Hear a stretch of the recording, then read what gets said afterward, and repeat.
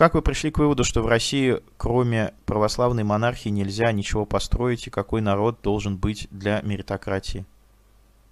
А, ну, в Сингапуре меритократия, посмотри, какой там народ.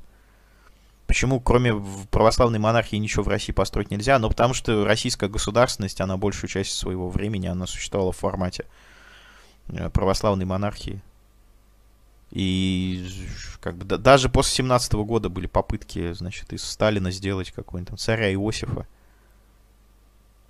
И там, православная церковь, вообще та современная церковь православная, которая вот сейчас существует в России, она вообще при Сталине была создана. И к Сталину эта церковь относилась очень комплементарно, несмотря на все гонения, несмотря там, убийств, на убийство священников.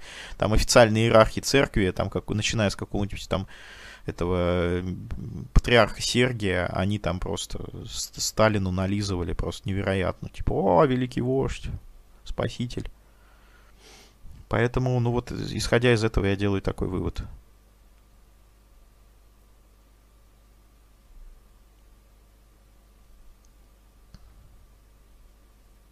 Ну, то есть я вслед за Максимом Кацем, конечно, не считаю, что менталитет что-то неизменное, да, то есть я считаю, что, конечно, менталитет может вполне меняться, но это происходит не так быстро, как хотелось бы некоторым. Так, эм... почему, по вашей логике, монарх в России должен делить власть церковью, а не, например, с парламентом? А, посмотри на историю традиции парламентаризма в России. Ну, как бы церковь это важный институт. Вне зависимости от того, что это православная церковь или там церковь святого праведного Диамата имени профессора Попова. В любом случае это важная хуйня, потому что можно контролировать огромное количество людей при помощи какой-то доктрины религиозной или квазирелигиозной. А с парламентом это так не работает. То есть парламент, ну, это просто кучка мудаков, которых, блядь, избрали куда-то, и все, и они там сидят, ругаются друг с другом. То есть, ну, это, это бесполезно. Религиозная доктрина, она имеет пользу, потому что можно сплотить людей, там, не знаю, война какая-нибудь началась, какой-нибудь патриарх может выступить, там, сказать, там, вставайте, люди русские, там, на смертный бой и так далее. А парламент, ну, как на мнение парламента всем похуй.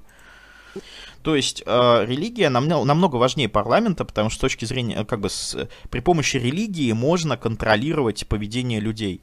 А парламент это кучка хуесосов, которые не могут контролировать даже свои собственные действия. Поэтому религия важнее намного. Потому что религия, она сплачивает людей, за религию люди там готовы умирать, убивать друг друга, там еще что-то. А парламент, ну, слушай, посмотри какие-нибудь видео с заседания Государственной Думы. Ты, ты готов умереть за этих людей? Я, я боюсь, что не найдется ни одного человека, который был бы готов умереть за вот кого-то из тех, кто там присутствует. Поэтому, конечно, конечно, религия важнее намного. Типа, у, у нас есть супер учение, оно все объясняет, истина в истине в истине, там, летающие великие боги, базисы и надстройки Иисуса. Поэтому мы должны, там, не знаю, построить что-то, или там поубивать всех врагов. То есть, ну, это мобилизует людей. А парламент, ну, про- просто какие-то горлопаны, которые там сидят, что-то голосуют. Ну, охуенно.